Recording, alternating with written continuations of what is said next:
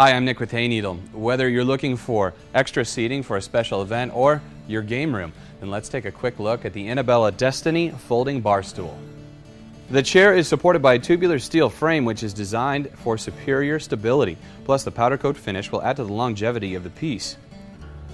The contoured metal backrest features a stylish cutout that accentuates the sleek, modern design.